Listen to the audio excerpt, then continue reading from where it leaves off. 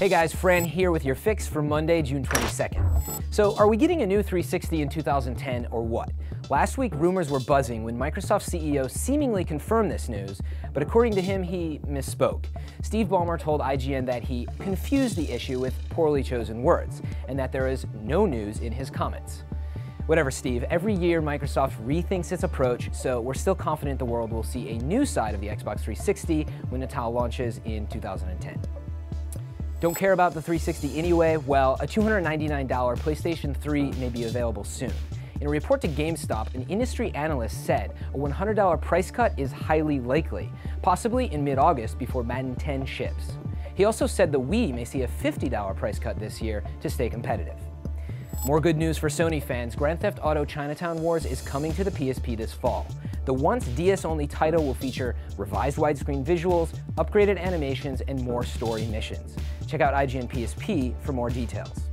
But wait, there's more news for you Sony fanboys. Left 4 Dead 2 might be headed to the PlayStation 3.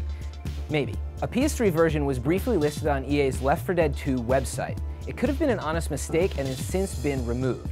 Given that Valve doesn't like the PS3 very much, and because Microsoft said the only console it will appear on this fall is the 360, it's kind of hard to tell. But it is a huge tease for PS3 owners, so enjoy that.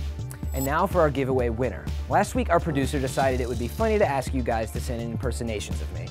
Trust me, I was just as surprised as you. But lucky for us, there were a few amusing and disturbing submissions. Let's take a look at a few of the highlights now. Fran Mirabella impersonations, take one. Hey dog, this is Fran Mirabella in the house. Hey guys, FM3 here. Take five. Take six. It's crazy, it's all over the place, my beard's a little scratchy. Okay, I like them all, but I gotta go with Spencer Ellis. Nice. Great job on that hair flip, buddy. Enjoy Quantum of Solace and South Park Season 12 on Blu-ray, and may we never speak of this again. That's your fix for June 22nd, 2009. I'm Fran Mirabella, and be sure to get your fix anytime online here at IGN.com.